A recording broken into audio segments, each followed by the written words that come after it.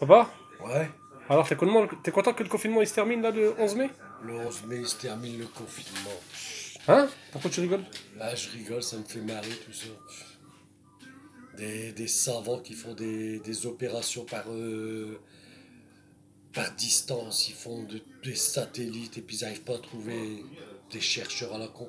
C'est grâce à eux maintenant que je regrette de ne pas avoir euh, continué les études, tu vois. Pourquoi? Je suis sorti à 16 ans.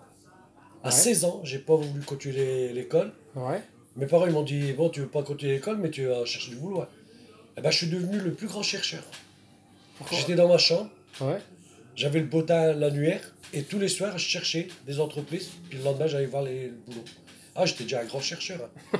Alors, t'imagines si j'aurais fait les études? Eh, Ils peuvent pas sortir euh, une, une machine pour voir ces, ces coronavirus. C'est des milliards de petites bêtes.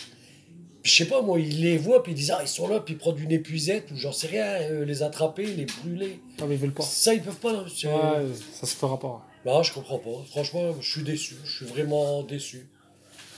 Ouais, franchement, je suis déçu parce que après, après que ça va bien se passer, Inch'Allah, comme on dit, bah là, ils vont trouver des trucs, ils vont trouver des vaccins, ils vont. Bah, ouais. Et je crois qu'après Pasteur, il n'y a plus personne.